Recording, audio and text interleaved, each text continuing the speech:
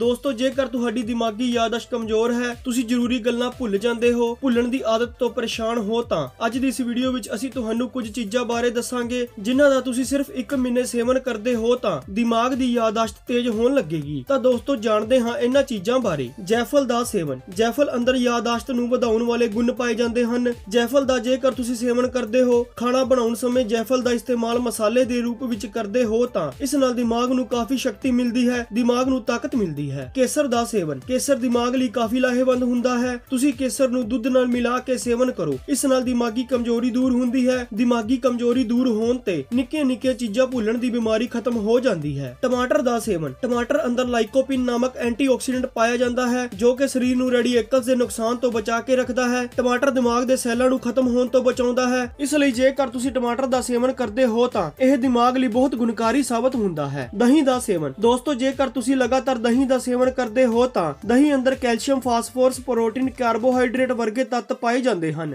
ਦਹੀਂ ਦਾ ਹਰ ਰੋਜ਼ ਸੇਵਨ ਕਰਨ ਨਾਲ ਸਰੀਰ ਦੀ ਸ਼ਕਤੀ ਵਧਣ ਲੱਗਦੀ ਹੈ ਨਾਲ ਹੀ ਸਰੀਰ ਅੰਦਰ ਜੋ ਬੈਕਟੀਰੀਆ ਪੈਦਾ ਹੁੰਦੇ ਹਨ ਦਹੀਂ ਉਹਨਾਂ ਨੂੰ ਵੀ ਖਤਮ ਕਰਦੀ ਹੈ ਇਸ ਵਿੱਚ ਜੋ ਅਮੀਨੋ ਐਸਿਡ ਪਾਇਆ ਜਾਂਦਾ ਹੈ ਉਹ ਟੈਨਸ਼ਨ ਤਣਾਅ ਮਾਨਸਿਕ ਰੋਗਾਂ ਨੂੰ ਖਤਮ ਕਰਦਾ ਹੈ ਜਿਸ ਨਾਲ ਦਿਮਾਗ ਦੀ ਪਾਵਰ ਵੱਧਦੀ ਹੈ ਇਸ ਲਈ ਤੁਸੀਂ ਦਿਮਾਗੀ ਸ਼ਕਤੀ ਲਈ ਹਰ ਰੋਜ਼ ਦਹੀਂ ਦਾ ਸੇਵਨ ਜ਼ਰੂਰ ਕਰੋ ਅਖਰੋਟ ਦਾ ਸੇਵਨ ਅਖਰੋਟ ਨੂੰ ਬ੍ਰੇਨ ਫੂਡ ਵੀ ਕਿਹਾ ਜਾਂਦਾ ਹੈ ਕਿਉਂਕਿ ਅਖਰੋਟ ਦੀ ਗਿਰੀ ਦੀ ਸ਼ੇਪ ਬਿਲਕੁਲ ਦਿਮਾਗ ਵਰਗੀ ਹੁੰਦੀ ਹੈ ਅਖਰੋਟ ਅਖਰੋਟ ਦਾ ਲਗਾਤਾਰ ਸੇਵਨ ਕਰਦੇ ਹੋ ਤਾਂ ਇਸ ਨਾਲ ਭੁੱਲਣ ਦੀ ਬਿਮਾਰੀ ਖਤਮ ਹੋ ਜਾਂਦੀ ਹੈ ਸੇਬ ਦਾ ਸੇਵਨ ਸੇਬ ਵਿੱਚ ਐਂਟੀਆਕਸੀਡੈਂਟ ਭਰਪੂਰ ਮਾਤਰਾ ਵਿੱਚ ਹੁੰਦੇ ਹਨ ਜੋ ਭੁੱਲਣ ਦੀ ਬਿਮਾਰੀ ਤੋਂ ਹਮੇਸ਼ਾ ਬਚਾਈ ਰੱਖਦੇ ਹਨ ਸੇਬ ਬੱਚਿਆਂ ਅਤੇ ਵੱਡਿਆਂ ਦੋਵਾਂ ਦੇ ਦਿਮਾਗੀ ਵਿਕਾਸ ਲਈ ਫਾਇਦੇਮੰਦ ਹੁੰਦਾ ਹੈ ਇਸ ਲਈ ਖੁਦ ਅਤੇ ਬੱਚਿਆਂ ਨੂੰ ਸਵੇਰੇ ਖਾਲੀ ਪੇਟ ਸੇਬ ਦਾ ਸੇਵਨ ਜ਼ਰੂਰ ਕਰਵਾਓ ਅੰਜੀਰ ਦਾ ਸੇਵਨ ਅੰਜੀਰ ਸਿਹਤ ਲਈ ਵਰਦਾਨ ਤੋਂ ਘੱਟ ਨਹੀਂ ਹੈ ਇਸ ਦੇ ਸੇਵਨ ਨਾਲ ਕਬਜ਼ ਦੂਰ ਹੁੰਦੀ ਹੈ ਅੰਜੀਰ ਖਾਣ ਨਾਲ ਇਮਿਊਨਿਟੀ ਸਿਸਟਮ ਮਜ਼ਬੂਤ ਹੁੰਦਾ ਹੈ ਅਤੇ ਸਰੀਰ ਦੇ ਨਾਲ ਨਾਲ ਦਿਮਾਗ ਦੀ ਕਮਜ਼ੋਰੀ ਵੀ ਦੂਰ ਹੁੰਦੀ ਹੈ ਕਿਸ਼ਮਿਸ਼ ਦਾ ਸੇਵਨ ਕਿਸ਼ਮਿਸ਼ ਔਸ਼ਧੀ ਗੁਣਾਂ ਨਾਲ ਭਰਪੂਰ ਹੁੰਦੀ ਹੈ ਇਸ ਦਾ ਸੇਵਨ ਸਿਹਤ ਲਈ ਬਹੁਤ ਫਾਇਦੇਮੰਦ ਹੁੰਦਾ ਹੈ ਇਸ ਵਿੱਚ ਆਇਰਨ ਪ੍ਰੋਟੀਨ ਫਾਈਬਰ ਬਹੁਤ ਚੰਗੀ ਮਾਤਰਾ ਵਿੱਚ ਪਾਏ ਜਾਂਦੇ ਹਨ ਕਿਸ਼ਮਿਸ਼ ਦਾ ਹਰ ਰੋਜ਼ ਸੇਵਨ ਕਰਨ ਨਾਲ ਦਿਮਾਗ ਤੱਕ ਖੂਨ ਦੀ ਸਪਲਾਈ ਸਹੀ ਰਹਿੰਦੀ ਹੈ